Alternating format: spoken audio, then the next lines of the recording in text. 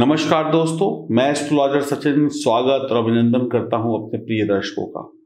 कुछ ज्योतिष के छोटे छोटे से सत्य छोटी छोटी सी जानकारियाँ मैं आपके समक्ष लेकर आया हूँ। आप लोग इन छोटी छोटी जानकारियों से अपने बारे में, अपनों के बारे में बहुत कुछ जान पाएँगे। बार बार आपको अपनी कुंडली दिखाने के लिए किसी एस्ट्रोलॉजर के पास भागने की ज़रूरत नहीं पड़ेगी। आप छोटी छोटी जानकारियों को देख कर समझ कर अपने बारे में, अपनों के बारे में काफ़ी कुछ जान पाएँगे। तो आइए शुभारंभ करते हैं इसी एक टॉपिक का। ये जानकारी चंद्र राशि और नाम राशि पर आधारित होगी और ये महिलाओं के लिए जानकारी है। इसको पुरुष देखें, महिला देखें या जो लोग ज्योतिष सीखना चाहते हैं वो लोग भी देख सकते हैं। किसी जातक या जातिका की जन्म कुंडली में मंगल शुक्र की युति। किसी भी जातक या जातिका की जन्म कुंडली में मंगल और शुक्र की युति पंचम। देखिए, कुंडली का ये पंचम भाव है, कुंडली आपके सामने आ गई। सप्तम अब देखिए, ये सप्तम भाव है। और नवम भाव, ये देखिए नवम भाव है।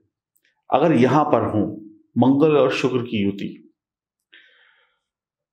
तो विवाह योग्य, आयु निकल जाने के बाद विवाह होता है।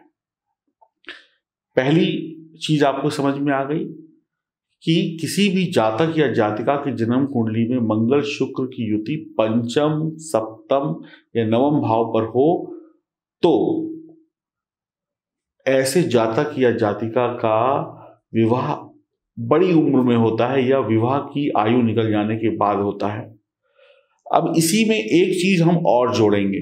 पंचम, सप्तम या नवम में मंगल और शुक्र की युति हो और उसके ऊपर शनि की दृष्टि हो तो ये बात सत्य हो जाती है हंड्रेड परसेंट कि ऐसे जातक या जातिका का विवाह बड़ी उम्र में होगा या विवाह की उम्र निकल जाने के बाद होगा। अब शनि को तीन दृष्टियाँ प्राप्त हैं, सातवीं तीसरी और दसवीं। तीसरी दृष्टि सबसे ज़्यादा खतरनाक होती है, सातवीं दृष्टि तो एक दृष्टि ऐसी होती है जो सभी ग्रहों को मिली हुई होती है।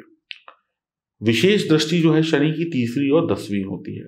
तो अगर आपकी या आपके किसी जानने वाले की जन्म कुंडली में पंचम, सप्तम या नवम में मंगल और शुक्र की युति है और शनि की दृष्टि उसके ऊपर पड़ रही है तो आपका या जिसकी भी कुंडली है, उसका विवाह विलंब से होगा, आयु निकल जाने के बाद होगा।